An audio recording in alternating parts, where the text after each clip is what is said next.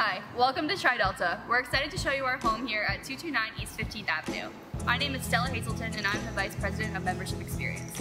My name is Charlie Sullins and I'm the Director of Recruitment Events. And I'm Sophia Ross. I'm your Director of Member Selection. Come, let us show you around our home.